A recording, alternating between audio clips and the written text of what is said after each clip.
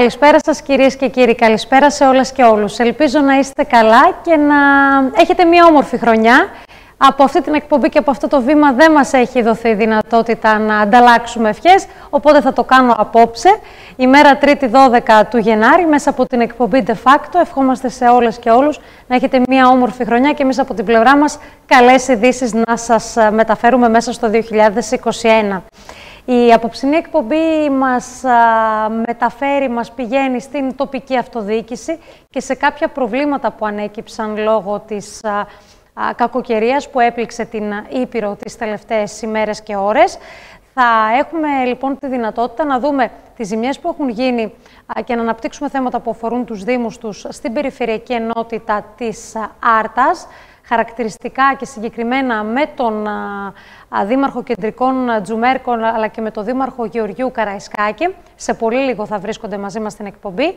Όμως αρχικά την εκπομπή μας θα την ανοίξουμε και αξίζει νομίζω να αφιερώσουμε λίγο χρόνο. Να δούμε γιατί έχουμε το τελευταίο διάστημα τόσο έντονα καιρικά φαινόμενα.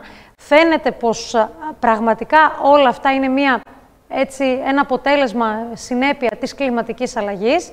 Ε, είδαμε πολύ ψηλές θερμοκρασίες τις, τις προηγούμενες ημέρες μέσα στην καρδιά του χειμώνα.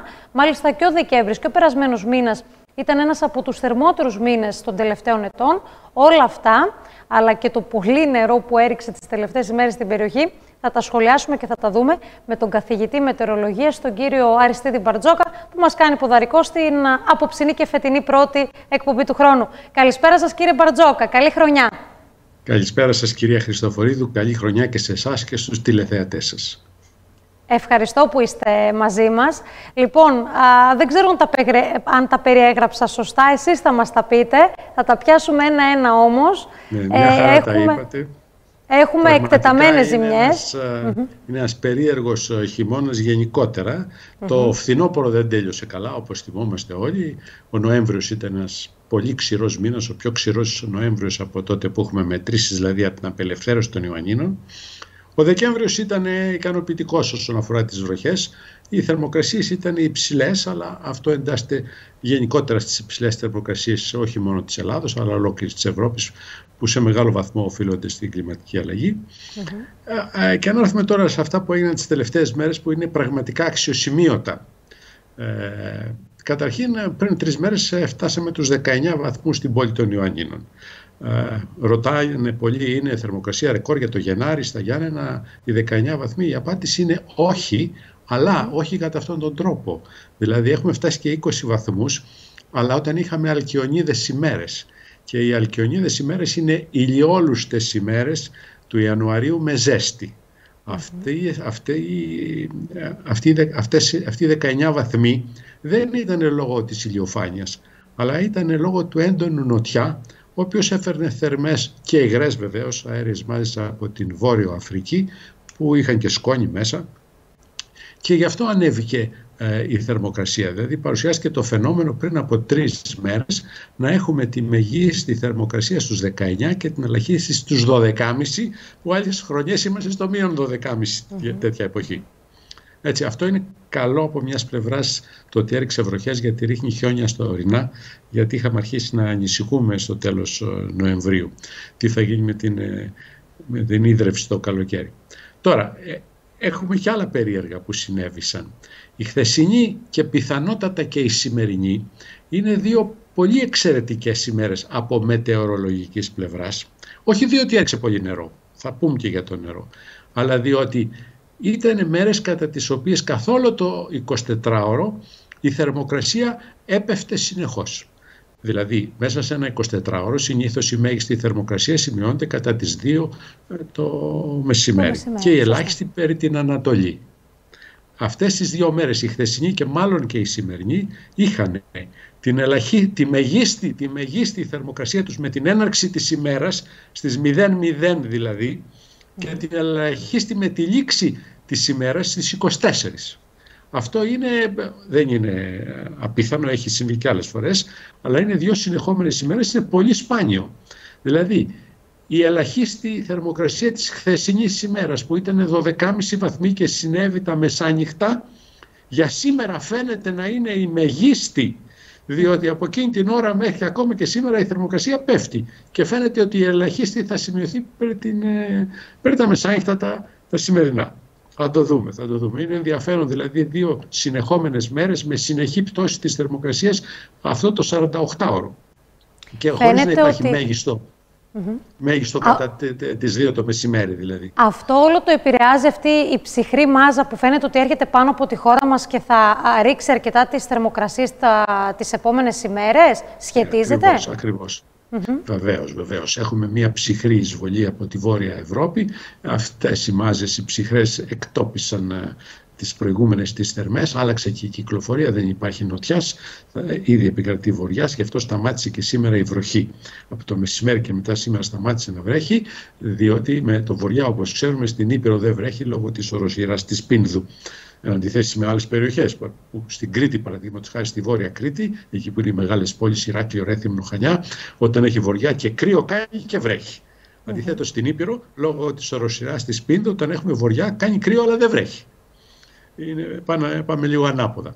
Κύριε Τώρα όσον αφορά τις βροχές. Θα, ναι. ε, πριν πάμε στις βροχές, ε, επιτρέψτε μου να ρωτήσω, και είναι νομίζω κάτι που πολύ απλά, όπως είπατε, σας το θέτει και εσάς ο κόσμος. Είναι φυσιολογικές πάντως αυτές οι θερμοκρασίες υψηλές για μήνες Δεκέμβρη-Γενάρη. Ή κάτι χτυπάει ένα καμπανάκι που μας λέει ότι κάτι δεν πάει καλά; Ναι, ε, είναι πλέον δεδομένο ότι αυτό που λέμε κλιματική έχει ξεκινήσει και αν δεν λάβουμε τα μέτρα μας, να σταματήσουμε δηλαδή να ρηπαίνουμε την ατμόσφαιρα, αυτό θα συνεχιστεί. Υπάρχουν πολλά σενάρια, τι θα γίνει το 2100, αλλά ε, είναι πολύ νωρίς να πούμε εάν θα ανταποκριθεί ο άνθρωπος στις εκκλήσεις των επιστημόνων και να μειώσει τους ρήπους ή όχι. Εν πάση περιπτώσει, σήμερα η ανθρωπότητα έχει τα μέσα να αντιμετωπίσει αυτές τις δυσκολίες. Να σας θυμίσω ότι γινόταν πριν από 100 χρόνια, ρίχνε ένα χιονάκι στο χωριό και δεν μπορούσες να πας στην πόλη. Έτσι. Και ούτε air condition είχαμε για το καλοκαίρι, ούτε θερμοματικά το χειμώνα. Όμως όλα αυτά έχουν και τις επιπτώσεις τους ε, στη φύση, στην οποία και εμείς ε, ζούμε. Έτσι. Ε, δεν κρίνω λοιπόν την κλιματική αλλαγή εγώ από τους 19 βαθμούς το Γενάρη στα Γιάννενα. Τα Γιάννενα είναι ένα τίποτα πάνω στον πλανήτη. Αλλά από τις θερμοκρασίες που σημειώνονται σε όλο τον πλανήτη. Τις παρατηρούμενες πλέον θερμοκρασίες. Έτσι, τις θερμοκρασίες και τις χρόνια... καιρικές μεταβολές ή τα φαινόμενα που μπορεί να πλήττουν περιοχές που δεν έπληταν, α, για παράδειγμα, τα προηγούμενα χρόνια. Κάπου διάβαζα ότι η Ισπανία είχε αναδεί το χιόνι εδώ και 40 χρόνια, 4 δεκαετίες. Ναι, πιθανότατα. Η Ιαπωνία. Δεν θυμάμαι ακριβώς αυτό, αλλά η προφανώς όταν όταν το, το, το σπρώξεις, να το πω έτσι, το ποτάμι που λέγεται ατμόσφαιρα και πάει κάπου αλλού, θα σου δώσει τις βροχές σε, μια άλλη περιοχή που συνήθως δεν έβρεχε. Γιατί ε, ό,τι εξατμίζεται από τους ωκεανούς, τους τεράστιους ωκεανούς που καταλαμβάνουν τα τρία τέταρτα της γης, θα ξαναπέσει. Αλλά αν δεν πέσει σε εμάς, θα πέσει παραπέρα. Και αν δεν πέσει, όλο, δεν πέσει όταν θα έπρεπε να πέσει λίγο-λίγο, θα πέσει όλο μαζί. Δηλαδή αυτό, αυτό λέει η κλιματική αλλαγή, ότι θα, τα φαινόμενα θα είναι πιο έντονα πλέον. Και το βλέπουμε τα τελευταία χρόνια, είναι πιο έντονα.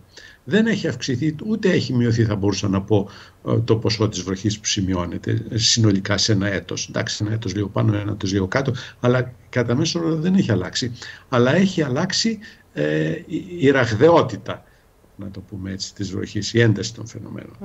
Η ένταση των φαινομένων. Τα οποία φαινόμενα και έτσι... Και αυτό το είδαμε ε, προχτές. Ήταν πολύ ισχυρά τις τελευταίες δύο ημέρες. Όχι όλες, ναι.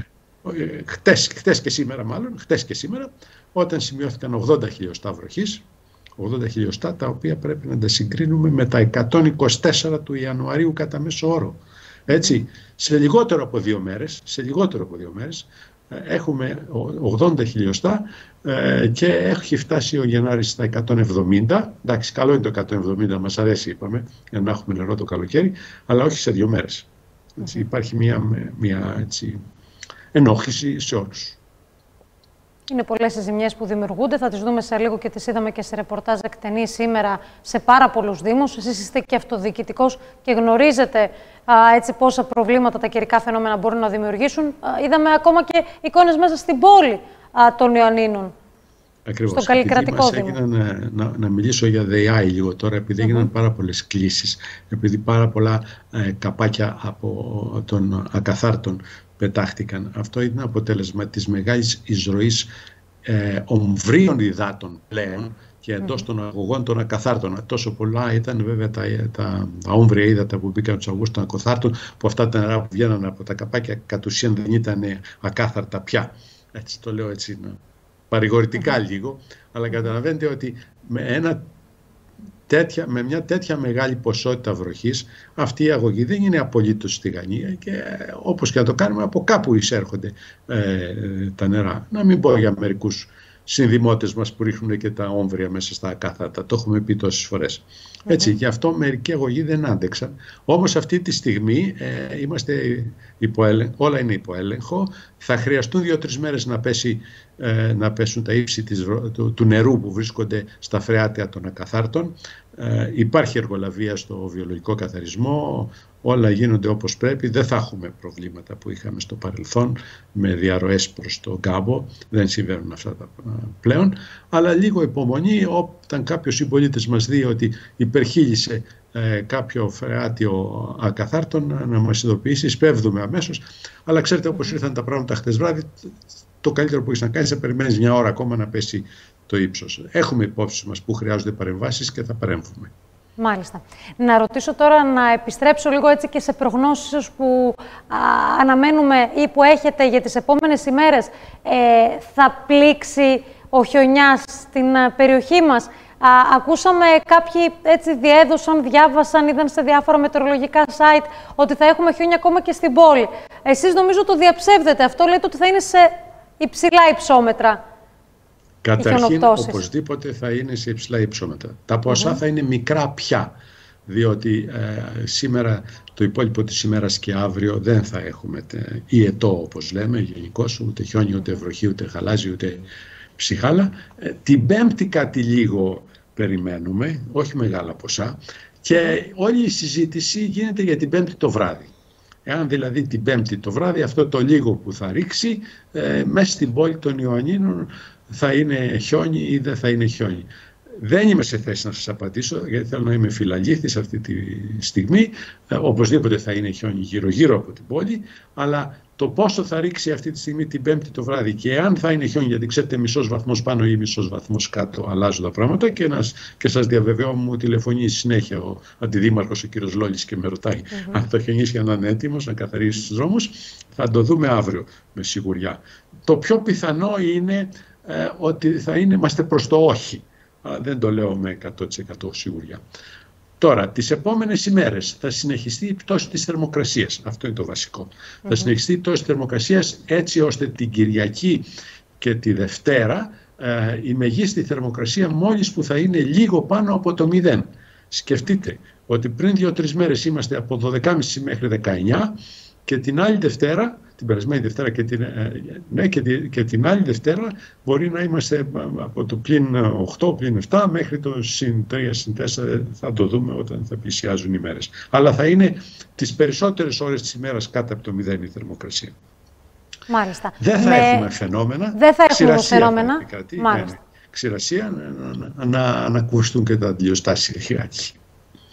Μάλιστα. Και ε, τώρα μακροπρόθεσμα μπορούμε να δούμε, δηλαδή ξέρουμε περίπου πώς θα κυλήσει ο α, Γενάρης. Α, ολοκληρώνεται το ναι, πρώτο του μισό.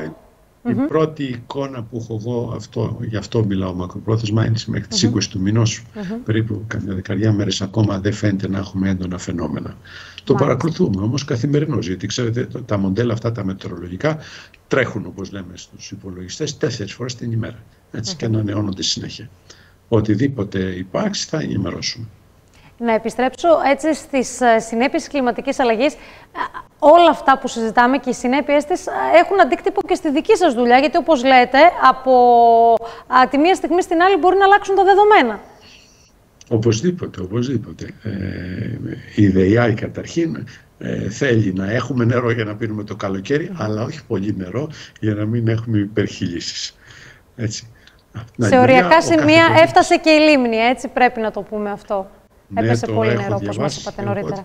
Πραγματικά ε, και θα πέσει κι άλλο, διότι πρέπει να ξέρετε ότι το λεκανοπέδιο είναι μεγάλο και μέχρι να αποστραγγιστεί όλο αυτό και να φύγουν όλα τα επιφανειακά ύδατα προς τη λίμνη, ε, θα, θα χρειαστεί μια μέρα ακόμα, δύο μέρες ακόμα και θα συνεχίσει να πέφτει νερό στη λίμνη από, όλους, από όλες τις τάφρους αυτές. Έτσι, η εικόνα αυτή που μας Η εικόνα αυτή που μας μεταφέρετε κύριε Μπαρτζόκα είναι για όλη την Ήπειρο. Έχετε δηλαδή εικόνα και για τις ναι, υπόλοιπες περιοχές; Ωραία, ναι, ναι, ωραία. για όλη την Ήπειρο. Άρα φαντάζομαι ότι συνάδελφοί σας αυτοδιοικητικοί θα ανακουφίζονται τώρα που σας ακούνε, γιατί θα ξέρουν, εντάξει, τα χιόνια, μαθημένα όπως λέμε τα βουνά από τα χιόνια, ξέρουν πώς να τα διαχειριστούν. Αυτούς τους τεράστιους όγκους νερού δεν μπορούν να διαχειριστούν οι άνθρωποι, μας λένε στα ε, έτσι ορεινά. Είναι, πραγματικά έτσι. Όταν έχεις συνηθίσει ε, τα γεφύρια σου, να το πω έτσι, τα ποτάμια σου έχουν συγκεκριμένες κήτες που έχουν δημιουργηθεί από τις ε, συνήθειες της καιρικές και ξαφνικά αυτό αλλάζει. Ε, η πολιτεία έρχεται ε, σε απόγνωση ξαφνικά διότι διαπιστώνει ότι η γέφυρα δεν επαρκούσε, διότι διαπιστώνει ότι το νερό ξεχυλίζει και όλα αυτά τα πράγματα. Ε, πρέπει να έχουμε το νου μας συνεχώς από εδώ και στο εξής. Μάλιστα. Με τι μήνυμα θέλετε να κλείσουμε την κουβέντα μας αυτή; Α, να είμαστε αισιόδοξοι. Εδώ καταφέραμε να ξεφύγουμε από τον κορονοϊό μια βροχούλα, θα φοβηθούμε. Δεν, ε, τα καταφέρνουμε πολύ καλά εδώ στην Ήπειρο μέχρι τώρα και έτσι να συνεχίσουμε. Μάλιστα. Κύριε Μπαρτζόκα, σας ευχαριστούμε πάρα πολύ για όλα τα έτσι, νέα που μοιραστήκατε μαζί μας και φυσικά και για τις προβλέψεις σας για το επόμενο διάστημα.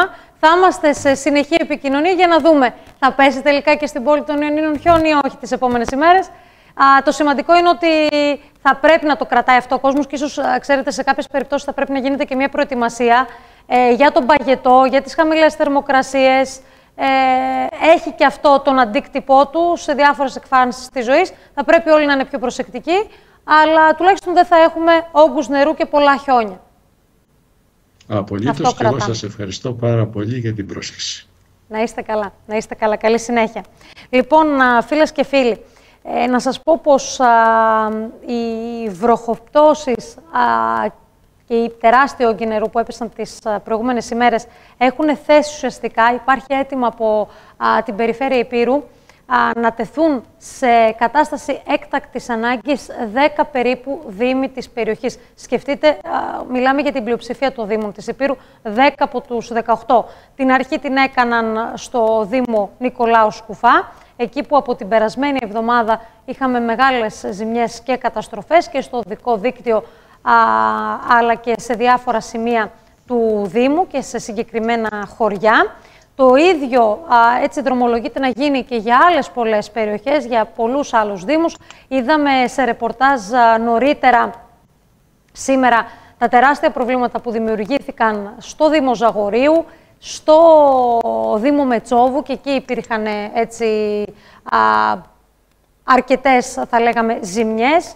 Α, φυσικά στο Δήμο της Κόνιτσας, πολύ μεγάλες οι ζημιές, αλλά και σε ορεινούς δήμους α, της Άρτας, αλλά και τον Δήμο που συνορεύει με τα κεντρικά Τζουμέρκα και στα βόρεια Τζουμέρκα είχαμε έτσι προβλήματα, λόγω των τεράστιων όγκων του νερού που έπεσαν. Φυσικά ο κάμπος ε, στους ε, φιλιάτες, στο Δήμο Φιλιατών, επλήγει και αυτός για πολλωστή φορά. Υπάρχει και μια έκκληση από τους ε, παρακαλάμιους εκεί, από τα παρακαλάμια χωριά, τους παρακαλάμιους δήμους, να δρομολογηθούν ενέργειες και έργα, ώστε να μην έχουν κάθε τρεις και λίγο πλημμυρικά φαινόμενα. Πολλά από αυτά θα τα δούμε σε πολύ πολύ λίγο πάμε ευθύς αμέσως να συνδεθούμε με τον επόμενο δήμαρχο, τον δήμαρχο κεντρικών Τζουμέρκων, τον κύριο Χασιάκο, για να δούμε πώς έχει εκεί η κατάσταση. Καλή χρονιά εύχομαι κύριε Χασιάκο. Και εγώ σας εύχομαι καλή χρονιά. Αλλά και η δουλειά δικιά σας είναι να, όλα τα παράξενα να, να μεταδίδετε. Δυστυχώς. Οπότε, είμαστε σε αυτή, σε αυτή τη γραμμή δηλαδή, να μεταδίδετε και τα άσχημα νέα πιο πολύ. Η κακοκαιρία έπηξε με βαρβαρότητα την περιοχή σας, το δικό σας το Δήμο, διάφορα χωριά. Για πάμε να μας μεταφέρετε λίγο την εικόνα. Ε, στο Δήμο μας έβρεχε σχεδόν, σήμερα κράτησε λίγο, επί ένα εικοσαήμερο. Ε, την τελευταία μέρα, χθες τη Δευτέρα, αυτά τα καιρικά φαινόμενα εντάθηκαν ακόμα περισσότερο. Είχαμε έντονη βροχόπτωση, και από το μεσημέρι και μετά είχαμε πολύ ισχυρούς ανέμους. Ε, ο άνεμος που φεσούσε στην περιοχή ήταν πάνω από 100 χιλιόμετρα και αυτό συνετέλεσε ως στα δύο πιο ορεινά χωριά του Δήμου μας, τους Μελισσουρούς και τα Θεδόργαινα, ε, ο αέρας να σηκώσει τις, τις στέγες των σπιτιών από αποθήκες και από ποιμνιοστάσια. Ε, περίπου σε 10 σπίτια ε, στους Μελισσουργούς και περίπου σε 10 σπίτια στα Θοδόργινα έγιναν καταστροφές μεγάλες σε στέγες σπιτιών, σε βεράντες, σε καμινάδες, σε επιμνιοστάσια που ήταν σκεπασμένα με λαμαρίνες. Ε, μικρότερες βέβαια ζημιές έγιναν ε, σε πολύ περισσότερα σπίτια όπου ο αέρας κατέστρεψε τις καμινάδες ε, των σπιτιών. Ε, βέβαια αυτή την εποχή τα περισσότερα σπίτια στα δύο αυτά χωριά, στους Μελισσοργούς και στα Θοδόρια να είναι κλειστά γιατί οι κάτοικοι λείπουν και είναι στα αστικά κέντρα και δεν ξέρουμε ο εξοπλισμός των σπιτιών τι ζημιές μπορεί να έχει πάθει. Πιστεύουμε τώρα, επειδή όλοι έχουν πληροφορηθεί το τι ακριβώς συνέβη, θα έρθουν να ανοίξουν τα σπίτια τους ε, και θα καταγραφούν και οι ζημιές οι οποίες έγιναν και θα δούμε αν αυτοί οι άνθρωποι μπορούν ε, από κάπου να ενισχυθούν ε, για τις ζημιές που υπέστησαν. Α, το δυσκολότερο που είχατε να αντιμετωπίσετε ποιο ήταν, Δήμαρχε; Αυτό που σας είπα προηγουμένως αφορούσε ζημιές που έγιναν στα σπίτια, σε περιοχές δηλαδή των κατοίκων. Βέβαια ζημιές έγιναν και στο οδικό δίκτυο του Δήμου, ε, γιατί εδώ έχουμε απότομα πρανείς επειδή είναι ορεινός ο Δήμος και ανάντι και κατάντι των δρόμων.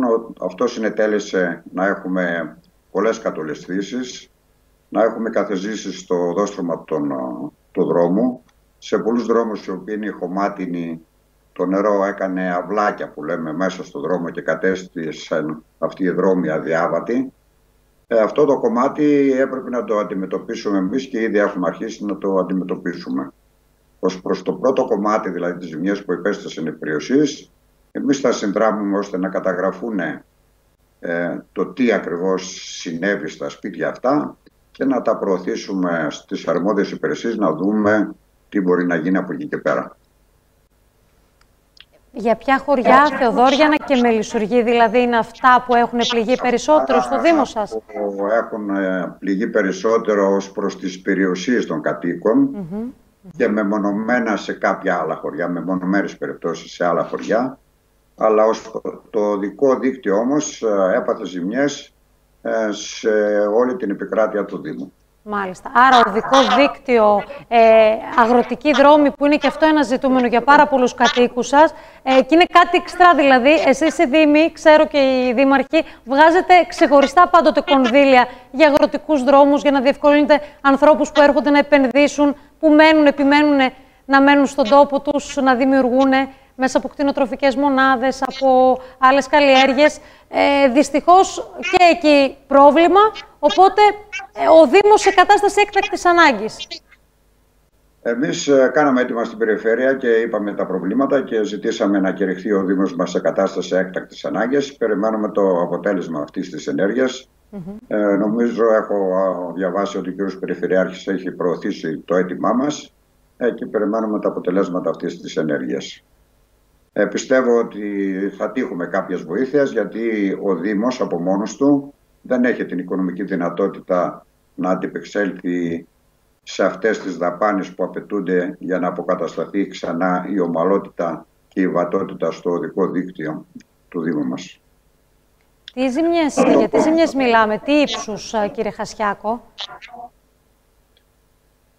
Για παράδειγμα, συνάδελφό σας στο Δήμο Ζαγορίου μου έλεγε σήμερα ότι είναι άνω του μισού εκατομμυρίου οι ζημιές. Εσείς τις έχετε υπολογίσει περίπου; Ε, δεν τις έχω υπολογίσει, αλλά μπορώ να κάνω μια εκτίμηση ότι και 500.000 στο Δήμο μας δεν θα έφταναν με τίποτε. Δεν θα έφταναν δηλαδή για να μπορέσουμε να... Ε, γιατί όπου έγιναν οι ζημιές ε, δεν είναι μόνο να πάρεις ε, μια κατάπτωση που έγινε ή όπου έχει καθιζάνει το οδόστρωμα ε, να τον μπαλώσεις ε, με μια άσφαλτο από πάνω.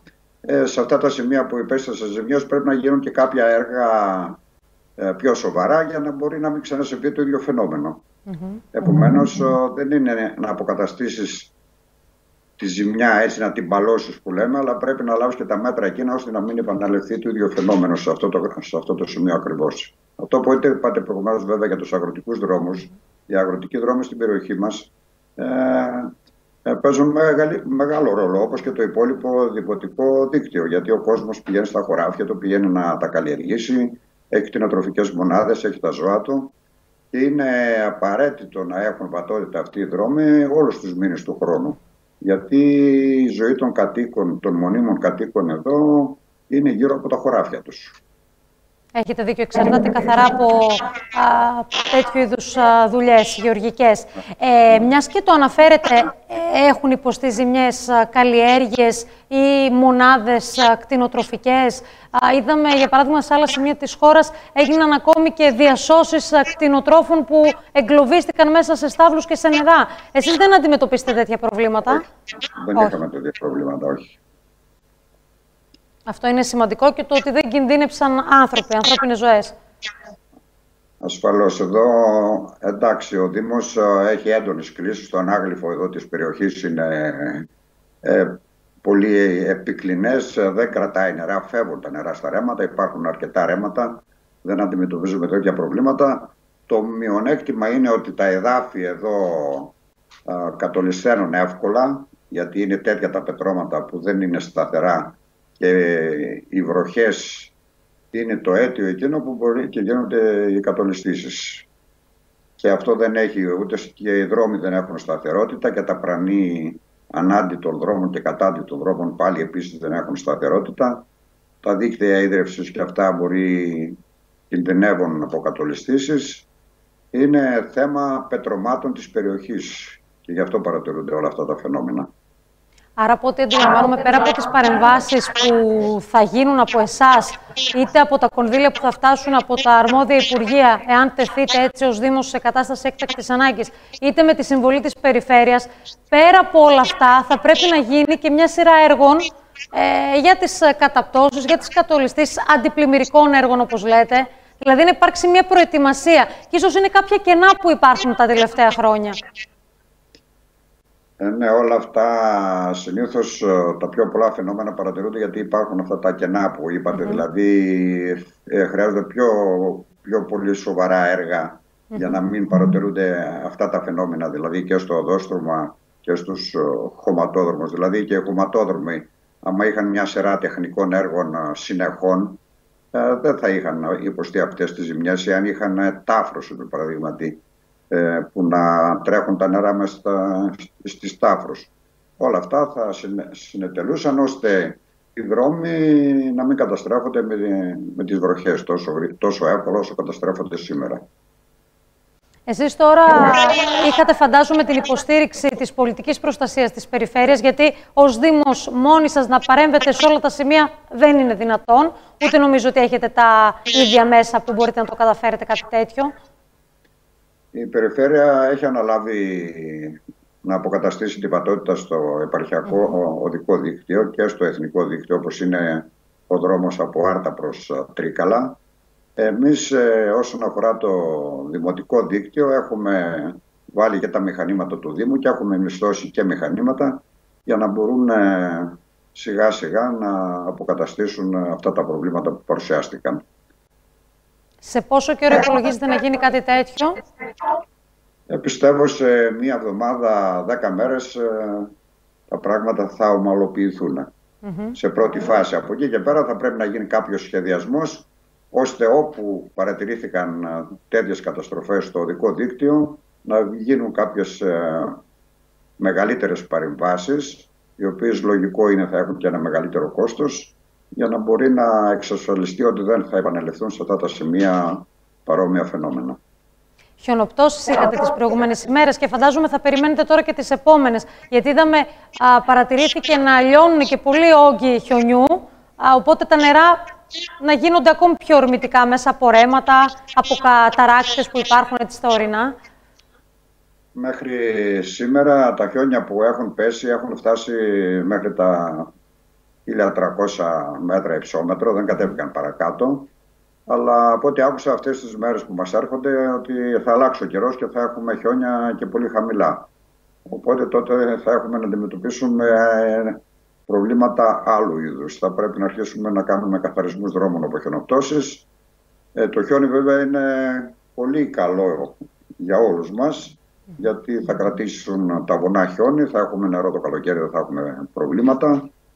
Ε, δημιουργούνται βέβαια και οι παρενέργειες που λέμε που πρέπει να καθαρίζουμε τους δρόμους, αλλά αυτό εάν είναι, πώς το λένε, φυσιολογικά όλα, θα, τα... θα είναι μια δουλειά την οποία θα την κάνουμε και πολύ ευχάριστα. Και την κάνετε και στο παρελθόν και τη γνωρίζετε. Ε, με τους ε, τεράστιους όγκους νερού δεν μπορείτε ακόμη έτσι να τα βγάλετε πέρα, η αλήθεια είναι.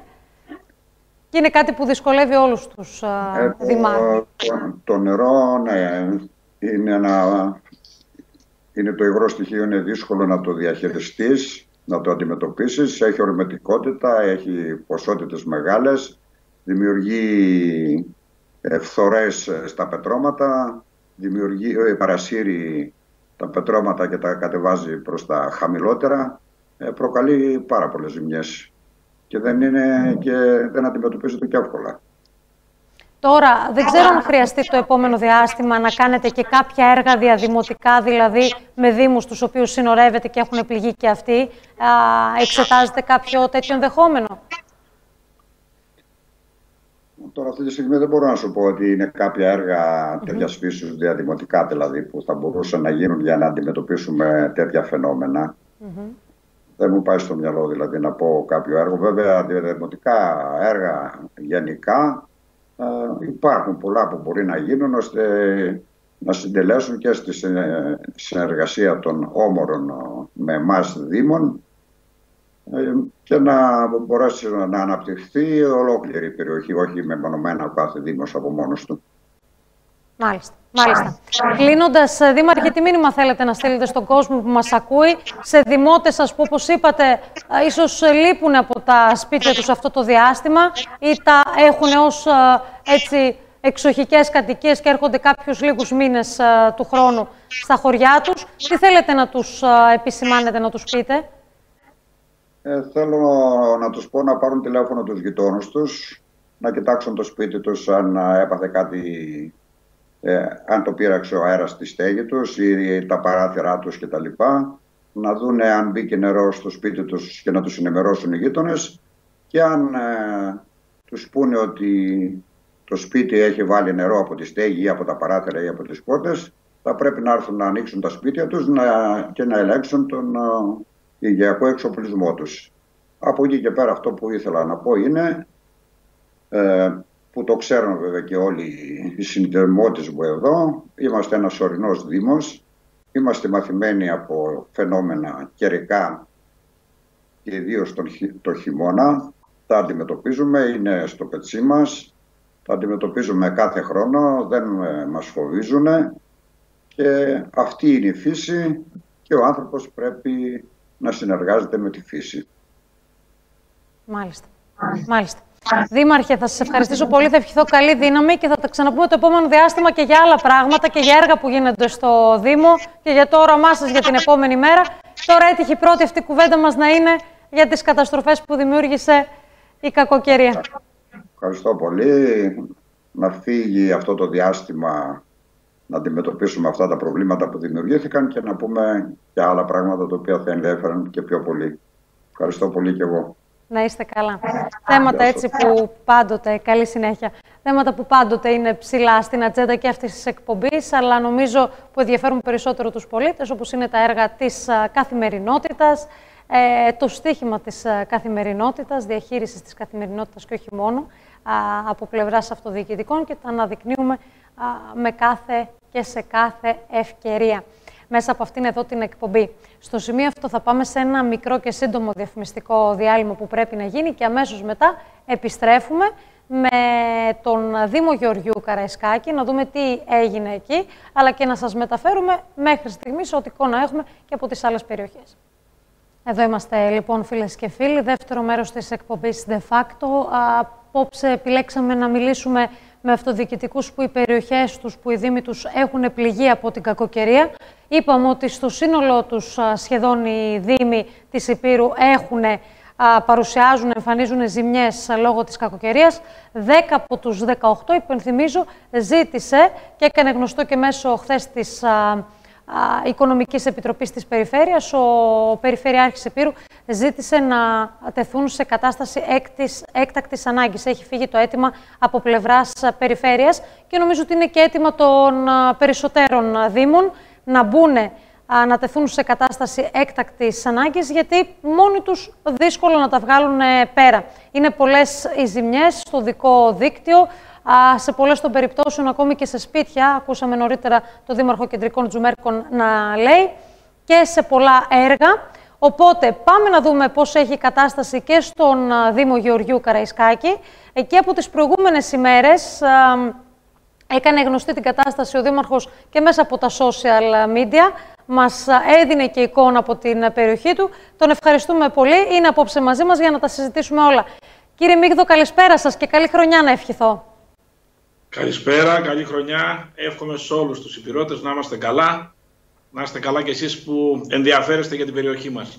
Και να είστε δυνατοί να αντιμετωπίζετε τέτοιες δύσκολες ε, καταστάσεις. Η αλήθεια είναι ότι στα δύσκολα είστε μαθημένοι, ειδικά οι υπηρώτες ε, δήμαρχοι. Ε, να που με το καλημέρα το 2021 έτσι σας έδειξε το δύσκολο του πρόσωπο. Είμαστε μαθημένα τα βουνά από τα χιόνια, έτσι λένε στην περιοχή μας. Mm -hmm. Εμείς αντιμετωπίζουμε την κατάσταση, είναι βέβαια πάρα πολύ σοβαρή. Πώς έχουν τα πράγματα, για πάμε να τα πάρουμε με τη σειρά. Εσείς έχετε τουλάχιστον πέντε ημέρες, έτσι δεν είναι κύριε Μίγδο, που πλήττεστε από την, από την κακοκαιρία; Ακριβώς. Εγώ έκανα γνωστό από την πρώτη μέρα ότι υπάρχει πρόβλημα γιατί τα ορεινά χωριά της Υπήρου, ιδιαίτερα ο Δήμος Γεωργίου Καραϊσκάκη, είχε και πέρυσι στις 22 Δεκεμβρίου πρόβλημα, το οποίο αυτό δεν αποκαταστάθηκε σε όλα τα επίπεδα, με αποτέλεσμα να είναι πολύ βεβαρημένη πλέον η κατάσταση και θα πρέπει να γίνουν πάρα πολλές παρεμβάσεις. Υπάρχει πολύ σοβαρό πρόβλημα. Πέντε μέρες εκτός από τη σημερινή υπήρχε γενικότερα μια κατάσταση αναστάτωσης σε όλη την περιοχή με πάρα πολλές καταπτώσεις, πολλές καθιζήσει, ε, τα υπερχιλήσεις ρεμάτων, ε, παραποτάμιες περιοχές πήραν μαζί τους χωράφια, τα ορμητικά νερά. Υπάρχει πρόβλημα. Το γνωρίζει ο κ. Καχρημάνης. Ε, είναι, είμαστε στη διαδικασία εκτάκτου ανάγκης και με το αίτημα το δικό μας αλλά και με την επίσπευση από τον κύριο Καχρημάνη ευελπιστούμε ότι θα δούμε φως τουλάχιστον για να μπορέσουμε να αντιμετωπίσουμε τις καταστάσεις. Λοιπόν, πού εντοπίζετε τις περισσότερες ζημιές και ποια χωριά σας είναι αυτά που κατά την άποψη σας έχουν πληγεί περισσότερο; Κοιτάξτε, η, η κατάσταση σε όλο το Δήμο Γεωργίου Καραϊσκάτη είναι προβληματική. Από άκρη άκρη στο Δήμο υπάρχουν προβλήματα στα οδικά δίκτυα, στα αντλιοστάσια, στα δίκτυα ίδρυυση, στις παραποτάμιες περιοχές, στα βάθρα των γεφυριών, στα οδικά δίκτυα που συνδέουν κτηνοτροφικές μονάδες, αγροτικές περιοχές.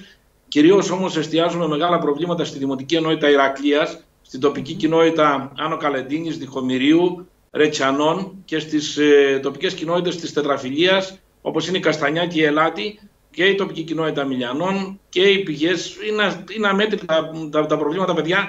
Ε, δεν μπορούμε να εστιάσουμε. Εγώ σήμερα ήμουν σπιθαμή, σπιθαμή το Δήμο και σε κάθε γωνία εντοπίζαμε και διαπιστώναμε καινούργια προβλήματα. Mm -hmm. Γι' αυτό και όλας αναμέναμε αρκετές μέρες για να δούμε ε, το, το φαινόμενο να εξελιχθεί. Υπάρχει σοβαρότατο πρόβλημα για ανθρώπους που μας ακούνε τώρα και δεν έχουν εικόνα από το Δήμο σας και από το γεωγραφικό του έτσι ανάγλυφο του Δήμου αυτού. Γιατί χωριά μιλάμε και μιλάμε για χωριά με πολλούς, με λίγους κατοίκους; Κοιτάξτε, ο Δήμος Γεωργίου Καραϊσκάκη έχει 16 κοινότητες, 84 οικισμούς. Ε, αυτοί οι οικισμοί είναι αραιοκατοικημένοι και οι κάτοικοι των, των οικισμών αυτών είναι σε απομακρυσμένα σημεία το ένα σπίτι από το άλλο, με αποτέλεσμα να έχουμε εκατοντάδες χιλιόμετρα αγροτικής οδοποιίας, δημοτικά οδικά δίκτυα και δίκτυα ίδρυυσης τεράστια, τα οποία αντιλαμβάνεστε ότι ένας Δήμος με, με το υπάρχον υπαλληλικό προσωπικό και με, τις, και με τα μηχανήματα, εμείς διαθέτουμε μηχανήματα, διαθέτουμε χειριστές. Υπάρχει σοβαρότατο πρόβλημα. Είμαστε ένας Δήμος ε, στην εσχατιά της Υπήρου, όπως σας έχω ξαναπεί κατά το παρελθόν, με ανθρώπους με γυρασμένο πληθυσμό, με μικρά παιδιά που πάνε στο σχολείο σε μεγάλες αποστάσεις και πρέπει να είμαστε καθημερινά δίπλα τους, ώστε να εστιάζουμε τα προβλήματα και να τα λύνουμε καθημερινώς. Δύσκολο εγχείρημα, υπάρχει περιφέρεια, στηρίζει, είναι επιποδός. Είμαστε συνεχώς ε, σε απόλυτη συνεργασία και με την πολιτική προστασία, τον κύριο Μαυρογιώργο και με τον κύριο Τζουμάκα στην Άρτα και με τον Βασίλη τον Ψαθά, τον Αντιπεριφερειάρχη και με τον Περιφερειάρχη μας, ο οποίος είναι πανταχού παρόν. Υπάρχει, υπάρχει θέληση, γνωρίζετε ποιο είναι το πρόβλημα, η οικονομική υποστήριξη. Είναι δεδομένο. Εκεί Κύριε Μίγδο, είπατε κάτι που είναι πολύ σημαντικό και μου το έλεγαν και άλλοι συναδελφοί σας τις προηγούμενες ημέρες, συζητώντας μαζί τους. Ε, είναι το θέμα των υποδομών από τη μία και έργων που θα έπρεπε να έχουν γίνει, δεν έγιναν. είναι κάτι που μένει στο παρελθόν ας το αφήσουμε εκεί. Ε, βλέπουμε τι γίνεται τώρα στο μέλλον, τι γίνεται μπροστά μας, τι γίνεται στο παρόν και στο μέλλον. Και αν υπάρχει διάθεση να αλλάξουν κάποια πράγματα και να γίνουν α, κάποιες σημαντικές παρεμβάσεις. Ένα είναι αυτό και ένα είναι και το άλλο που είπατε νωρίτερα, ότι πολλές φορές αφήνει πίσω της μια κακοκαιρία πληγές που δεν προλαβαίνουν να κλείσουν και έρχεται μία άλλη. Χαρακτηριστικά μου έλεγε η συνάδελφός σας, η κυρία Βαβέτσι, ότι υπάρχουν ζημιές που έχουν γίνει στον κάπο της Άρτα από το 2015 και οι άνθρωποι εκεί ακόμη δεν έχουν πάρει τις αποζημιώσεις. Και οι, συγκεκριμέ... και οι συγκεκριμένες ενότητες ήρθαν πάλι αντιμέτωπες με κακοκαιρία τις προηγούμενες ημέρες. Είναι σε έκτακτη ανάγκη. Κυρία Χριστοφορίδου, κοιτάξτε να δείτε. Εγώ έχω πει ότι δεν μηδενίζω τίποτα. Έχω βρει πάρα πολλά πράγματα στο Δήμο μου. Υπάρχουν ε, διαδικασίες τις οποίες οι προηγούμενοι δήμαρχοι και κοινοτάρχες ε, επιτέλεσαν το καθήκον τους. Υπάρχουν και πράγματα τα οποία δεν έχουν γίνει. Ε, δεν δες, δες στρίβουμε το βλέμμα στο παρελθόν, δεν κερδίζουμε και τίποτα, μόνο αυτοκριτική μπορούμε να κάνουμε. Ε, θεωρώ ότι ε, πρέπει να κοιτάξουμε μπροστά, να ενδυναμώσουμε τις σχέσεις μεταξύ μας όλοι μαζί, γιατί ε, η, η, η δύναμη εντιενώση μπορεί να φέρει αποτέλεσμα. Ε, όπως σας είπαν και οι άλλοι δήμαρχοι, ε, έχουμε τα παράπονά μας. Εγώ, ο Δήμος Γεωργίου Καραϊσκάκη έχει κηρυχθεί σε κατάσταση εκτάκτου ανάγκης 22 Δεκεμβρίου του 2019 από τότε έως τώρα θα μπορούσαν να έχουν γίνει πράγματα. Εμείς ε, εφιστήσαμε την προσοχή μας, οι τεχνικές μας υπηρεσίες και οι, τα κλιμάκια μας ε, βγάλαν τα τεχνικά τους δελτία, απευθυνθήκαμε σε υπουργεία. Δυστυχώς ε, τα χρήματα τα οποία ήρθαν ήταν από μηδέν έως ε, μερικές χιλιάδες ευρώ από αρμόδια υπουργεία τα οποία ε, θα χρειαζόταν για να δώσουμε λύσεις σε βάθρα γεφυριών, σε οδικά δίκτυα, σε αντιλιοστάσια, ώστε αν επέρθει μεγαλύτερη ζημιά, να μην χρειάζεται ολοκληρωτική παρέμβαση σε μια γέφυρα. Με 20 με 30 ευρώ επί παραδείγματι, μια γέφυρα θα μπορούσε να αποκατασταθεί το βάθρο ή ο περιβάλλοντας χώρος ο οποίος κινείται το νερό. Όμως, αν πάρει το ποτάμι τη γέφυρα που μπορεί να συμβεί, θα, θα φαντάζεις στου δημότες μας ότι δεν κάναμε τίποτα, δεν θα έχουν γνώση του αντικειμένου ότι εμείς κινηθήκαμε, αλλά τα χρήματα δεν ήρθαν, οι υποδομές δεν μπορούσαν να υποστηριχθούν με ευχολόγια. Δεν γίνεται αυτό. Είναι δεδομένο αυτό ότι έχουμε μείνει πίσω σε πάρα πολλά πράγματα. Ε, δεν επιρρύπτω ευθύνες στο παρελθόν, όπως σας είπα. Θεωρώ όμως ότι θα πρέπει να γίνουν γενναίες ενέργειες και από το Υπουργείο Εσωτερικών και από το Υπουργείο Υποδομών στην ορεινή Άρτα που εγώ γνωρίζω, χωρίς αυτό να σημαίνει ότι δεν έχω επικοινωνία με τους άλλους μου δημάρχους. Εδώ υπάρχει πρόβλημα. Υπάρχει πρόβλημα και μέσω της κλιματικής αλλαγής, μέσω όλων των αποτελεσμάτων, μέσω της ε, της, της τελευταίας 15 ετίας, 20 ετίας δεν υπήρχε απόλυτη προσέγγιση όλων των πραγμάτων. Εγώ αντιλαμβάνομαι ότι έγιναν και λάθη. Μπορεί και εγώ ενδεχομένως στη θητεία μου να έχω κάνει λάθη, όμως μην γυρίζουμε πίσω. Χρειάζεται οικονομική υποστήριξη και θα το πω και το λέω ε, συνεχώς ότι εκεί που δεν πρέπει να εκδηλώσουμε παράπονο είναι στην περιφέρεια Υπήρου, η οποία από την πρώτη στιγμή είναι παρούσα. Σήμερα, για παράδειγμα, χέρι-χέρι το Δήμο Γεωργίου Καραϊσκάκη συνεργεία και της περιφέρειας και του Δήμου προσπαθούσαν να επιλώσουν πληγές. Όμως είναι τεράστιες, είναι μεγάλες οι περιπτώσεις. Χρειάζεται οπωσδήποτε υποστήριξη.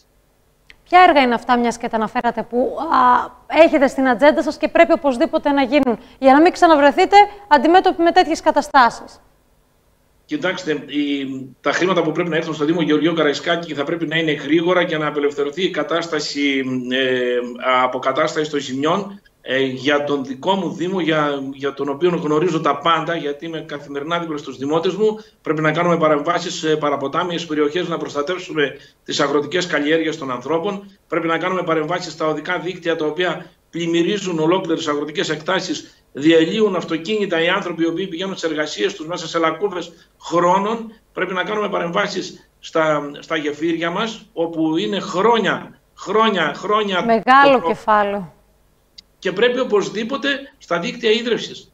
Θα βιώσουμε πρόβλημα, δεν, έχει, δεν έχουν έρθει χιονοπτώσει. Το καλοκαίρι ένα, ένας ορεινός Δήμος βιώνει πρόβλημα λειψιδρίας και το χειμώνα βιώνει πρόβλημα από τις καθηγήσεις και από τις καταρτώσει δια, ουσιαστικής διάλυσης των, ε, των, ε, των δικτύων ίδρυυση. δεν μπορεί να το αντιμετωπίσει ο Δήμος Γεωργιό Καραϊσκάκη. Δεν έχει να κάνει ούτε με το Δήμαρχο ούτε με την τεχνική του υπηρεσία. Έχει να κάνει με το σύνολο των ενεργειών. Πρέπει να ανασκύψει το Υπουργείο Υποδομών και το Υπουργείο Εσωτερικών πάνω σε αυτούς τους Δήμους, οι οποίοι είναι διελειμμένοι από πλευράς στελέχωσης των υπηρεσιών, έχουν ιδιαίτερο πρόβλημα λόγω των γεωγραφικών εκτάσεων, όπου δεν είναι μια πυκνοκατοικημένη περιοχή όπου θα είναι 2-3 χιλιάδες δημότες. 3.000 δημότες σε μένα είναι σε 75 οικισμούς. Αντιλαμβάνεστε το δίκτυο ίδρυσης ότι πρέπει να φτάσει στον τελευταίο κάτοικο. Πρέπει να προστατεύσω τη γιαγιά στην ευρύτερη περιοχή των Ρετσανών, η οποία το δίκτυο ίδρυυσης πρέπει να είναι εντάξει, να φτάσει εκεί το νερό. Κρατάει θερμοπύλες. Ξέρω ότι είναι κοστοβόρο, γνωρίζω ότι έχει διαδικασία. Πρέπει όμως και το κράτος να καταλάβει αν θέλει πραγματική αποκέντρωση ή αν θέλει να στηρίξει την εσχατιά της περιοχής κάθε, κάθε ορεινής ζώνης, θα πρέπει να βοηθήσει με διαφορετικά κριτήρια. Δεν έχω είναι πράγματα που όντως ε, σας υπερβαίνουν, υπερβαίνουν τους Δήμους κάποια έργα και κάποιες παρεμβάσεις. Κοιτάξτε, εγώ έχω, έχω τον κόσμο ε, δίπλα μου γιατί είμαι δίπλα τους. Διεκδικώ για το Δήμο μου και έχω πει και κατά το παρελθόν ότι ε, τα πάντα ε, στο φως και, στο, και στη γνώση των δημοτών. Μετά το αίτημα της κήρυξης σε, σε έκτακτη ανάγκη και εφόσον εγκριθεί αυτό, χέρι-χέρι θα εξηγώ και θα καθημερινά στους δημότες μου τι εξέλιξη έχουν όλες οι διαδικασίες και όλες οι ενέργειες που κάνει ο Δήμος Γεωργίου Καραϊσκάκη. Αυτό δεν θα το κάνω για να αποποιηθώ ευθύνες ή για να δείχνω στον κόσμο μου ότι είμαι καθαρός. Θέλω να γνωρίζει ο τελευταίος δημότης μου ποιοι έχουν ουσιαστικά την ευθύνη που βρισκόμαστε σε αυτή την κατάσταση και ποιοι δεν δίνουν το χέρι βοηθείας σε Δήμους οι οποίοι έχουν πραγματική ανάγκη. Είναι πάρα πολύ καλά τα χρηματοδοτικά εργαλεία. Πολύ μεγάλη επιτυχία θα έχει το Αντώνη Στρίτσι σε οτιδήποτε, αλλά θα πρέπει ουσιαστικά να καταλάβουμε ότι οι μικροί Δήμοι χρειάζονται άμεσης υποστήριξης σε θέματα τα οποία δεν περνάνε ούτε από ευρωπαϊκά προγράμματα, ούτε από προγράμματα περιφερειακών ας πούμε, καταστάσεων. Πρέπει να πάμε επί τόπου και να λύσουμε θέματα. Πόσο καιρό θα σας πάρει να σβήσετε έτσι, το αποτύπωμα αυτής της κακοκαιρίας από τα χωριά σας, θα να απομακρύνετε έτσι τις ζημιές που έχουν γίνει.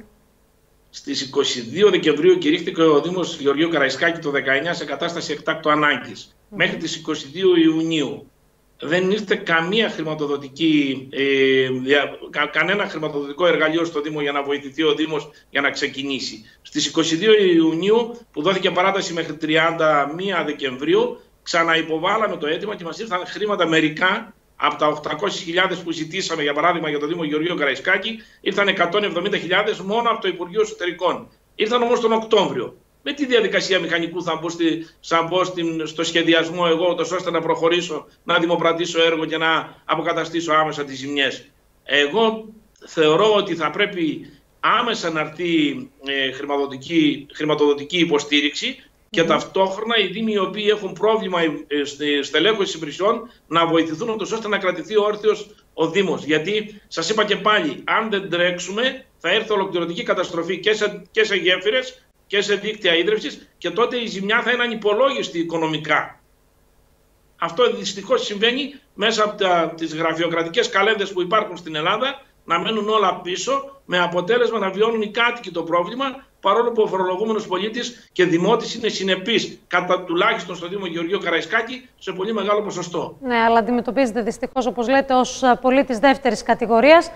Την ώρα που θέλουμε να μιλάμε για αποκέντρωση, πώς να δοθούν τα κίνητρα και όταν κάποιος κτηνοτρόφος έχει αλλεπάλληλα υποστεί πολλές ζημιές στη μονάδα του ή όταν του κλείνει ο δρόμος για να πάει στα χωράφια του ή στα ζώα του, πώς να επιλέξεις να μείνεις στο επάγγελμα, να μείνεις στον τόπο του; Έχετε αντιληφθεί ποτέ ότι ε, ο Δήμαρχος ο οποίος είναι σε καθημερινή επαφή με τους δημότες του είναι και ο αποδέκτης όλων των παραπώνων; Ξέρετε ότι οι περισσότεροι δημότες δεν γνωρίζουν τη διαδικασία της χρηματοδότησης με αποτέλεσμα να φταίει ο Δήμαρχος; Ξέρετε πόσα δεινά συμβαίνουν στους, στους Δήμους μας και τα υπομίζονται όλοι, όλα οι τοπικοί πρόεδροι, οι δήμαρχοι ή η τοπική κοινωνία χωρίς να έχουν ουσιαστικά την ευθύνη αν δεν στρίψει η πολιτεία. Εσείς είστε ταυτόχρονα και το έτσι αποκούμπι των ανθρώπων αυτών, γιατί δεν έχουν που αλλού να απευθυνθούν και να μιλήσουν.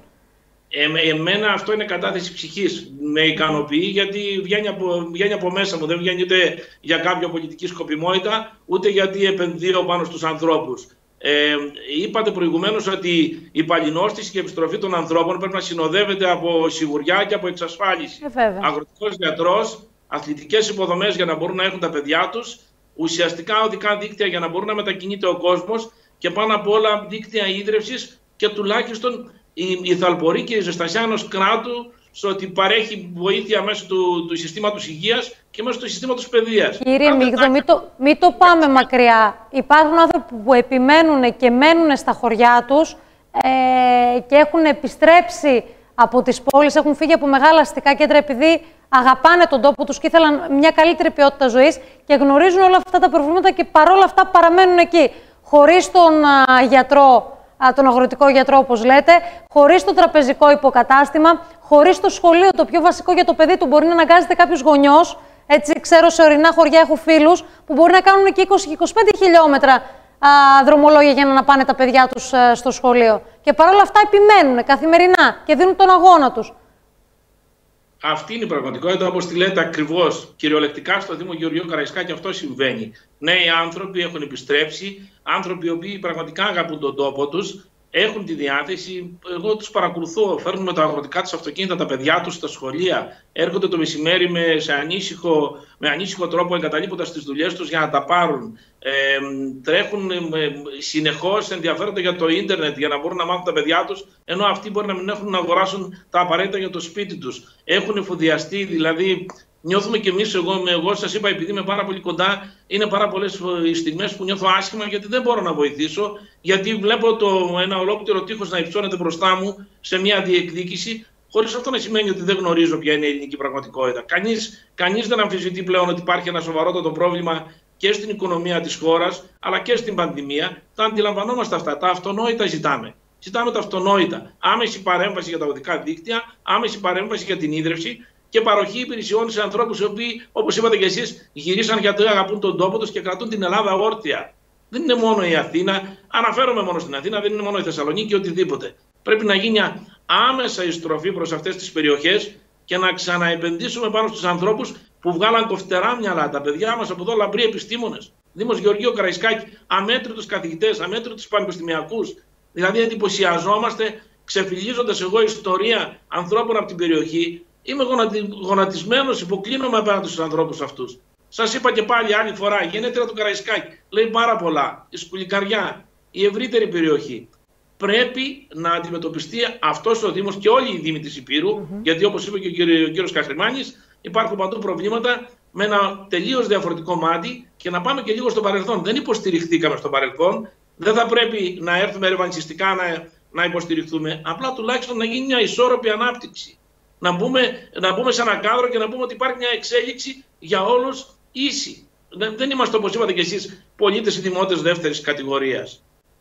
Μάλιστα. Η καταγραφή των ζημιών τώρα σε ό,τι αφορά την κακοκαιρία έχει ολοκληρωθεί από πλευρά σας ή ακόμα υπάρχουν ανοιχτά μέτωπα; Το κλιμάκιο με το οποίο κινήθηκα όλες αυτές τις μέρες εγώ, γιατί αν δείτε και το αίτημα ε, να κηρυχθούμε σε κατάσταση έκτακτης ανάγκης, δεν έγινε ούτε βεβαιασμένα, ούτε με εκβιαστικό δίλημα προς το κράτος είχε τέσσερις μέρες το, το κλιμάκιο του Δήμου Γεωργίου Καραϊσκάκη και με μένα επικεφαλή και με τους ειδικούς μου συνεργάτες που είναι μηχανικοί και με τους μηχανικούς μου κάνουμε καταγραφή όλων των προβλημάτων. Το 80% έχει αποτυπωθεί. Σήμερα σας λέω επί παραδείγματι, επειδή κινούμασταν με μηχανήματα για να αποκαταστήσουμε ζημιές, σε κάθε σπιταμή που προχωρούσαμε, επειδή έχουν τα εδάφη πλέον καθίσει με το υπερβολικό βάρος της βροχής, διαφαίνονται και καινούργια προβλήματα. Εμείς, σας είπα και, και πριν ότι δεν, ε, δεν ζητάμε χρήματα ούτε για αναπλάσεις, ούτε για εξυγχρονισμούς ε, ε, που θα δώσουν μια άλλη διάσταση στο Δήμο μας. Θέλουμε τις απαραίτητες υποδομές ώστε να λειτουργεί ο Δήμος μας και να είναι οι δημότες μας καλά.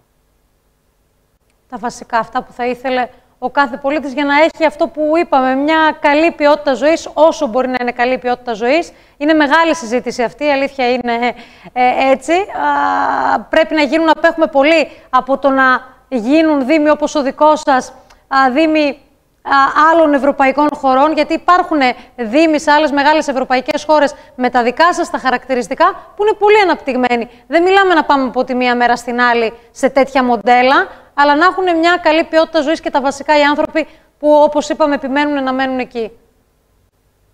Ακριβώς. Ε, εγώ βλέπω μπροστά μου, βλέπω τον Αντώνη Στρίτσης Βλέπω προτάσεις οι οποίες θα μπορούσαν να βοηθήσουν το Δήμο μου. Βλέπω όμως ένα νόμο 4412 περί όλων των διαδικασιών για τους Δήμους, ο οποίος με έχει με την πλάτη στον τοίχο. Δεν μπορώ, ε, πρέπει να απολογούμε στους δημότες μου γιατί δεν είμαι έτοιμος για πολλές προσκλήσεις. Αλλά το φαινόμενο ε, έχει, έχει με αιτιολογία. Είναι μια υποστελεχωμένη υπηρεσία, η τεχνική μου υπηρεσία. Ε, ενώ έχω μέσω του φιλόδημου έχω πάρει ε, τα, τα καλύτερα μηχανήματα GCB, έχω στόλο για να μπορώ να δουλέψω, έχω μόνο έναν χειριστή. Αντιλαμβάνεστε ότι ένα κράτος που έχει κλειδώσει τις προσλήψεις για ένα χρονικό διάστημα μεγάλο, ένα, ε, εγώ κατανοώ, σας είπα το, το οικονομικό πρόβλημα. Ένα κράτος το οποίο γραφειοκρατικά δεν μου επιτρέπει, ας στρίψει τουλάχιστον την προσοχή και ας έρθει χέρι-χέρι να το κάνουμε. Και ας εισπράξει το Υπουργείο Υποδομών τα εύσημα. Εγώ θέλω να δω την, την, το, ένα κλιμάκιο του Υπουργείου ή μια, μια ολόκληρη ομάδα ανθρώπων, ώστε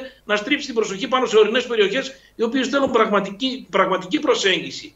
Ε, δεν μπορούμε εμείς το, το, το έτος 2020 να επενδύουμε σε γεωτρήσεις για να έχουμε νερό, όταν όλη η ευρύτερη περιοχή του Δήμου Γεωργίου Καραϊσκάκη ασφικτιά από, από ουσιαστικά πηγές οι οποίες θα μπορούσαν να έχουν βοηθήσει όλο τον κόσμο. Τεράστια χρηματικά ποσά που χρειάζονται όμως και μπροστά μας δεν μπορούμε να τα έχουμε. Σας είπα, παρελθοντικά έγιναν σίγουρα λάθη. Είναι δεδομένο αυτό. Όπως και στη θητεία τη δική μου έχουν γίνει λάθη, τα οποία ενδεχομένως θα φανούν στο, στο εγγύς μέλλον. Βλέπω όμως ότι θα πρέπει τουλάχιστον να είμαστε ενωμένοι. Η περιφέρεια είναι κοντά. Αν αυτό το ίδιο πράγμα κάνει ακριβώς και μια κυβέρνηση, η οποία, ένα κράτος, ένα κράτος το οποίο θα αντιληφθεί ότι και ο τελευταίος δημότης μιας ορεινής περιοχής δεν είναι δεύτερης κατηγορίας, αλλά είναι Έλληνας, και είναι ο αιμοδότης του κράτους, θα πρέπει να είναι δίπλα μας, ώστε να αναπτυχθούμε ισόρροπα. Είναι, βλέπω φαινόμενα, βλέπω, βλέπω δεδομένα σε μεγάλες περιοχές άλλες και οι δημότες μου είναι στενοχωρημένοι, όχι γιατί προοδεύσαν οι άλλοι, απλά γιατί μείναμε πίσω εμείς. Είναι, είναι πολύ σοβαρό το ζήτημα έχει να κάνει με τις φυσικές καταστροφές. Είναι το έναυσμα οι φυσικές καταστροφές. Αυτό πήγα να πω. Ότι ανακυκλώνεται, ξέρετε, όση ώρα μιλάμε, Δήμαρχε, και τα περιγράφετε πολύ ωραία, μου έρχεται στο μυαλό και αυτό που είπατε, ότι δυστυχώς το κράτος δεν είναι κοντά. Και το κράτος ή η εκάστοτε κυβέρνηση θυμάται πάντοτε προεκλογικά δημότες περιοχών σαν τη δική σας. Και τι θέλω να πω, πολλές επισκέψεις βλέπουμε και στα ορεινά και στα απομακρυσμένα χωριά και στη Μεθόριο και στην Παραμεθόριο. Προεκλογικά δίνουν και παίρνουν αυτές οι επισκέψεις. Το θέμα είναι στο πρόβλημα, μέσα στο πρόβλημα, πού είναι οι κυβερνήσεις, πού είναι οι πολιτικοί, πού είναι οι άνθρωποι του κάθε τόπου που εκλέγονται και βρίσκονται στα βουλευτικά έδρανα. Όλοι μαζί μπορούν να πλώσουν χέρι βοηθείας σε τέτοιες καταστάσεις και δυστυχώς έτσι ανακυκλώνεται όπως λέτε. Είναι το πρόσχημα και είναι η κουβέντα αυτή που γίνεται, έρχεται να αναδείξει ότι κάθε φορά τα ίδια προβλήματα έχουμε και ανακυκλώνουμε και λέμε τα ίδια και τα ίδια. Μακάρι να είναι η τελευταία φορά που συμβαίνει αυτό, θέλω να πω. Ε, βλέπω διάθεση από τους Δήμους και από εσάς τους α, νέους αυτοδιοικητικούς κάτι να αλλάξετε. Όπως είπατε, διάθεση για συνεργασία που είναι πολύ πολύ σημαντικό. Τι να πω, ανατρεπτικοί πρέπει να είμαστε με την έννοια ότι είμαστε νέοι άνθρωποι θα πρέπει να, να προσπαθήσουμε να σβήσουμε λάθη και, και κατάλοιπα του παρελθόντος, πελατειακές σχέσεις, όπως είπατε και εσείς, ε, ε να μην είναι απομακρυσμένοι, απομακρυσμένο το κράτος από, το, από τους Δήμους, να πάμε χέρι-χέρι, να είναι στο χέρι μας. Δηλαδή είμαστε νέοι άνθρωποι, ε, ευελπιστώ ότι μπορούμε να, να είμαστε ανατρεπτικοί και να δώσουμε νέα διάσταση στα πράγματα καλή συνεργασία. Ε, σίγουρα οπωσδήποτε και θα πρέπει να είναι βασικό μας στοιχείο αυτό ότι δεν θα πρέπει να είναι η ψηφοδηρική κατάσταση στο επίκεντρο αλλά η επίλυση των προβλημάτων γιατί ο κόσμος πλέον έχει κριτήριο, έχει άποψη και είναι δεδομένο ότι αν κάνει σωστά τη δουλειά σου η επιβράβευση θα έρθει. Εγώ έχω πει για το, τη θητεία μου το 2014 όταν εκλέγηκα δήμαρχος ότι τότε οι δημότες μου μου δώσαν την ευκαιρία. Το 2019 που επανεκλέγηκα όταν ερωτήθηκα, είπα ότι ήταν η επιβράβευση της διαδρομής μου των πέντε χρόνων. Από εδώ και στο εξής θα πρέπει να λειτουργήσω για να εδρεωθεί αυτή η επιβράβευση και να έχω το ίδιο ακριβώς ποσοστό ή και μεγαλύτερο, αν πραγματικά θέλω να θεωρώ ότι έχουμε πετύχει ένα έργο το οποίο δίνει, δίνει αποτελέσματα στους δημότες. Γιατί ψηφοδηρικά μπορεί να φτάσει κάποιος στο αποτέλεσμα. Είναι μικρή κοινωνία, πελατειακές σχέσεις, κουμπαριές, φίλοι, γνωστοί, ε, υποχρεώσεις ο ένας με τον άλλον. Δεν επιζητώ ένα τέτοιο Δήμο. Εγώ επιζητώ πολύ καλέ σχέσει με τους δημότες μου, γι' αυτό και με τους δημάρχους, τους συναδέλφους. Όταν έχω εκφραστεί, έχω πει ότι βρήκα πόρτες ανοιχτές του κυρίου Καλατζή, του κυρίου Γιανούλη όταν ήταν δήμαρχος, της κυρίας Βαβέτσι, του κυρίου Τσιρογιάννη, ο κύριος Χασιάκος. Με μια αξιοπρέπεια διαχειριζόμαστε τους Δήμους και φυσικά ανοιχτές τις πόρτες της περιφέρειας, οι οποίοι ουσιαστικά δρά στο Δήμο τουλάχιστον Γεωργίου Καραϊσκάκη, που εγώ μπορώ να μιλήσω, ως ο επικεφαλής της οικογένειας. Ω μια οικογένεια την οποία λύνουμε προβλήματα. Δεν φτάνουν όμως αυτά. Πρέπει να στρίψει την προσοχή του απόλυτα το κράτος. Εγώ όλα τα στοιχεία που έχω για τα προβλήματα αυτά θα τα διοχετεύσω μέσω εγγράφων σε όλους τους βουλευτές του νομού Άρτης. Θα κάνω τις, ε, τις ε, απαραίτητες κινήσεις και όπως σας είπα και στο αρχικό στάδιο της κουβέντας μας, χέρι-χέρι και καθημερινά με, και με δελτίο τύπου και με δικές μου δημόσιες αναρτήσεις θα αναφέρομαι στους δημότες μου για την εξέλιξη όλων των θεμάτων ώστε να γνωρίζουν πού σταμάτησε ή πού δεν πέτυχε το εγχείρημα το οποίο προσπαθούμε να αποκατασταθούν όλα τα προβλήματα στο Δήμο μας. Μάλιστα. Θα είμαστε σε επαφή και θα σας παρακολουθούμε και εμείς στενά. Κύριε Μίγδο, σας ευχαριστώ θερμά για την κουβέντα αυτή. Και εγώ ευχαριστώ πάρα πολύ. Να είστε καλά. Ελπίζω ο χειμώνας να μας επιφυλάξει τουλάχιστον καλά αποτελέσματα σε σχέση με τον κορονοϊό. Να είστε καλά, μακάρι, μακάρι. Λοιπόν, φίλες, φίλοι, να σας μεταφέρω λίγο την εικόνα και να κλείσουμε έτσι την απόψηνή μας εκπομπή ε, και από την περιοχή της ε, Θεσπρωτείας. Και όπως σας έλεγα νωρίτερα στο πρώτο μέρος της εκπομπής μας υπάρχει έτσι και μία επιστολή των παρακαλάμιων δήμων και χωριών και περιοχών και των ανθρώπων που βρίσκονται στις κεφαλές των ΤΟΕΒ να γίνουν έργα, να υπάρξει έτσι ένας συντονισμός για να μην έχουμε πλημμυρικά φαινόμενα. Ε, να σας πω ότι μέχρι αργά το απόγευμα μηχανήματα αλλά ακόμη και κανό επιστρατεύθηκαν από την πολιτική προστασία και την περιφερειακή ενότητα Θεσπρωτείας προκειμένου να απομακρυνθούν κορμί δέντρων από τη γέφυρα στη Βρυσέλα, στον κάμπο της Βρυσέλας, σε μια προσπάθεια να αποκατασταθεί ο ρούς του Καλαμά και να μειωθούν τα σοβαρά πλημμυρικά, όπως είπαμε, φαινόμενα. Οι ποσότητες του νερού που έχουν πέσει είναι τεράστιες και αυτό α, ήταν αναγκαίο να γίνει έτσι ελεγχόμενο άνοιγμα του, του θηροφράγματος στο πέραμα, ώστε να αποδεσμευτεί ποσότητα νερού από τη λίμνη, καθώς είχε φτάσει σε σημείο υπερχείλησης. Τα ορμητικά νερά έχουν παρασύρει δεκάδες κορμούς δέντρων, σύμφωνα με τα όσα δημοσιεύει και η συνάδελφος Ιβάσος Κούλικα στο Έπειρους Post. Οπότε γίνεται έτσι μια μεγάλη προσπάθεια, ώστε να ομαλοποιηθεί η κατάσταση και εκεί και στους παρακαλάμιους δήμους, αλλά και στην Περιφερειακή Ενότητα Θεσπρωτείας, ώστε να μην έχουμε περαιτέρω προβλήματα. Κάπως έτσι κύλησε η σημερινή ημέρα. Ήταν η μέρα αντιμετώπισης των πολύ σοβαρών προβλημάτων που έφερε η κακοκαιρία. Κρατάμε από την αρχική μας κουβέντα με τον καθηγητή μετεωρολογίας του Πανεπιστημίου Ιωαννίνων, τον κύριο Μπαρτζόκα, ότι τις επόμενες ημέρες δεν θα έχουμε έντονα καιρικά φαινόμενα, θα έχουμε ναι μεν χαμηλές θερμοκρασίες, υπό αρκετές μονάδες έτσι, υπό του μηδενός, όμως δεν θα είναι έντονα τα καιρικά φαινόμενα. Τώρα για τις χιονοπτώσεις, μένει να το δούμε. Ε, είναι κάτι το οποίο και οι μετεωρολόγοι ίδιοι προς στιγμή μέχρι αυτή την ώρα το αφήνουν ανοιχτό το ενδεχόμενο. Λοιπόν, κάπως έτσι θα σας αποχαιρετήσουμε. Θα σας ευχαριστήσουμε πολύ που μείνατε και απόψε στην παρέα μας, εδώ στην εκπομπή De Facto. Με την, μέχρι την ερχόμενη Τρίτη που θα τα ξαναπούμε, εύχομαι σε όλους και όλες να είστε καλά και να προσέχετε τους εαυτούς σας.